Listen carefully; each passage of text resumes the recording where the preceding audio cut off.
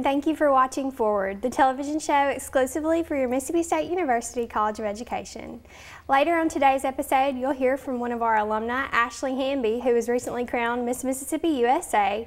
And to begin today, we have Sophie Kershaw of the NRTC. How are you doing this morning? I'm great, thank you. Good. Now, most people don't really know what the NRTC is, so why don't you tell us a little bit about it first? Well, yes, the NRTC is the National Research and Training Center on Blindness and Low Vision. Um, we are the only federally funded um, center that focuses on employment outcomes of individuals who are blind or have uh, visual impairments. We are housed since 1981 in the yes. College of Education, and we are located in the historic Industrial Education Building. Wow. Well, we are very proud to have you in the College of Education, and the NRTC just reached a major milestone. Can you tell us a little bit about that? Absolutely. In October, we were very excited to celebrate our 35th anniversary. As I said, we were established in 1981 um, through some federal funding, grant funding, and our mission is really to um, enhance employment outcomes and independent living for individuals who have blindness or low vision um, to make sure that you know, they get the same um, opportunities as everybody else. Right. Right. Well, um, there is so much work that goes on throughout the NRTC, and how is that made possible? Well, most of the work that we do is through grant funding. We um, have many opportunities to receive competitive grants, and over the years we have received over $31 million in grant funding, including two recent grants awarded um, at the end of 2015, um, totaling over $7 million.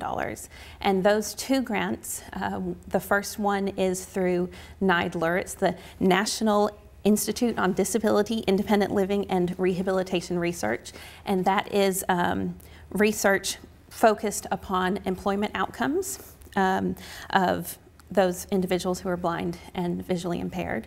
And then the second grant is through the Re Rehabilitation Services Administration um, under the U.S. Department of Education. And that is focusing on um, independent living of older individuals who are blind that we know as OIB. And so the OIB TAC uh, we are establishing a website and community of practice, and we'll have a lot of resources for service providers to be able to make sure that they're providing the correct services the correct ways through their agencies.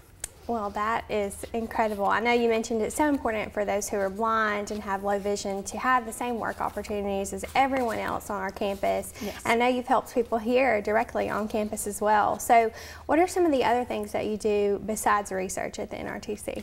Well, besides research, a, a large part of what we do is training and technical assistance. So, everything from our website providing continuing education to service providers or individuals such as yourself if you're interested in learning more about blindness and low vision. If, um, say, you have a family member you'd like to be more informed as to what they may be going through or services that they may have available to them, you can look on our website at uh, a plethora of resources on there. Everything from continuing education to transportation resources, employment resources, perhaps um, student transition going from school age into the workforce. These are all really important resources we have available as well as publications. With our research, we have regular publications coming out, and those are all available on our website. Wow. Well, what's a way we can contact you to learn more information about the center and, of course, just to gain as much knowledge as we'd like about it? Absolutely. Well, anyone can visit our website. It's an easy one to remember, blind.msstate.edu. And on our website, um, there's an About Us tab. And if you click on that, you can get our contact information and reach out to any of our team members with any questions. Um, also on our website is a link to our Technical Assistance Center website where you can ask an expert if you have just a specific question, whether it's a general question or something you know really important for you, you can reach out to us and we'll answer those questions for you. Well, thank you so much for joining us this morning, Sophie. It was great to hear. That's just a small glimpse about the NRTC. They really do have some amazing research coming out of that center, and we're so proud to have them in the College of Education as they're one of the only places in the United States that does research such as this. So we'll be back in a few. Flight. It's driven mankind's dreams for centuries. The ability to soar above the earth to travel to faraway places, to connect distant points. Manned flights to the moon and space were once the stars for which we reached. Now, unmanned aircraft are the future. At Mississippi State University, our teams are developing unmatched unmanned aircraft systems for an array of critical applications. We're so good at it, the Federal Aviation Administration named MSU the Center of Excellence in the field, asking us to lead the team that's creating the operating regulations for unmanned aircraft systems worldwide. So, we're writing the flight plan for an industry that is the future. Our work means better information, more opportunity, and limitless horizons. For you. The sky really is the only limit. The Oktibbeha County Humane Society is a 501c3 nonprofit organization. We were established in 1978 and revitalized in 1997. And we were established based on everybody should treat uh, their animals humanely. And um, what we do is we run the City of Starkville Animal Shelter. We take in about 2,000 animals each year, but we also reach out to those community members that need to get their pets fixed through our low-cost spay neuter programs. We are very grateful for the funding that we receive from the United Way. Um, we use those funds to care for our animals that we have here in the shelter, as well as um, they go to help also support those programs that we offer to our community members. Having that support with the United Way, um, it, it, helps us provide more care for animals. Um, the more funding we have, the more we're able to help support our community. Without them, our, our efforts to, to make all of this happen would not be possible.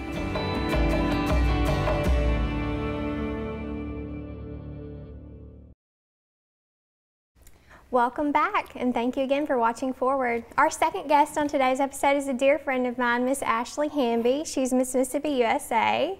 Hello, Ashley. Hello. well, congratulations on Thank your recent you. crowning. Was it November you were crowned? Uh, the end of October. So. End of October. Yes, Wow. not very long ago. And you graduated when from the College of Education here? 2015, And what was your major? elementary education. Okay, so we have a future teacher on Yes, our hands. yes. And you're currently in graduate school? I am. I'm currently in graduate school pursuing my Master's of Education in School Counseling. Great. So That's wonderful to hear. So, what made you decide to get into the Miss Mississippi USA competition? I competed in Miss Mississippi a couple of times when I was younger, and I took a few years break because I really wanted to come back and be ready for this job as Miss Mississippi USA because it's truly a job. It's a lot of work, a lot of um, hard work and ethic that goes into it. So I really wanted to be prepared for it. And so when I decided to do it this year, I gave it everything that I had in my power. I worked extremely hard, and uh, now I'm ready for the job, and I love having this crown and this title. That's so exciting. We're proud to have you Thank from the you. College of Education. What does it mean to you to kind of represent the state and Mississippi State University and just everything you've been a part of throughout the years? It's absolutely amazing. It's a dream come true. I think it's something I've worked for for so long, so it still feels super surreal to me. But it's such an amazing experience, and I cannot wait to go to Miss USA and represent my state. And actually, the weekend after I was crowned, I was invited to uh, go to the I'll go on the field at the Mississippi State Texas A&M football game and be introduced, and we won that game. So Yes. maybe I was a good luck charm. I don't know. Maybe. Well, that's that's So incredible. Mississippi State, representing Mississippi State and representing Mississippi is a dream come true. So the Miss USA pageant will be televised and held when? It, it will be televised and held this summer. We don't know the location or the date yet, so we're still waiting to find out, but definitely this summer. So what are you doing now to prepare for that competition? Right now, we are just getting hair. This sounds crazy, but my hair perfect and my teeth perfect. That sounds insane, but it's true. and we have a lot of wonderful, wonderful sponsors that are getting me ready because a lot of photo shoots are coming up because of photo deadlines for Miss USA. Mm-hmm. And then after the new year, it'll really start a lot of interview prep, working out a lot, and just getting myself as prepared as I can be to go to Miss USA. Well, I think you're going to do a tremendous job, Thank and we Thank can't wait to watch. we'll be sure. I'm very excited. now, you said you majored in elementary education, and you're currently doing um, educational psychology. So, after the crown, where do you see yourself? Do you want to be in a classroom, or I, I've always wanted to pursue and get my master's degree, so I wanted to do that immediately after I graduated with my undergrad.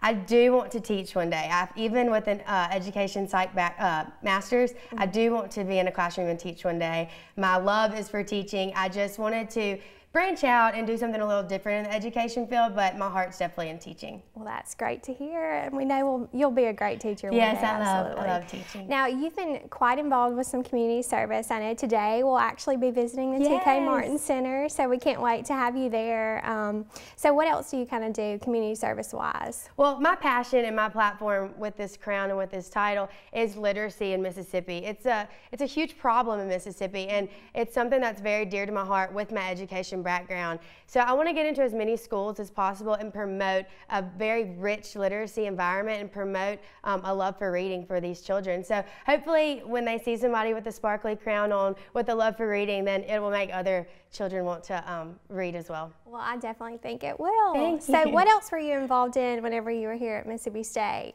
I was, Paige and I were in the same sorority, and so I was definitely um, involved in the Greek life here at Mississippi State, and also in a lot of the community service projects around here, such as um, Relay for Life and um, Habitat for Humanity. Those were two very big um, community service projects I was involved in. Great. Well, the summer national pageant, we cannot wait to watch you. Again, we're so proud. In addition to your title, the College of Education also is home to Miss Hospitality, Mary Elizabeth Stringer, and Miss Mississippi, Laura Lee Lewis. Yeah, we have everybody right here. Triple threat, Yes, triple crown, you could literally say. So that's great. And again, we're so glad to have you today. Best of luck in Thank the you so much. Thanks for having We me. We look forward to having you, and I definitely think um, through this through this title, you're going to gain some very very knowledgeable experience, and you're going to make a wonderful teacher one day. Thank So you. This Thank is what it's all about here in the College of Education: having these great teachers and future educators, and just people who will influence the lives of others daily. So, thank you so much for watching today's episode. To learn more about the College of Education, you can visit our website educ.msstate.edu.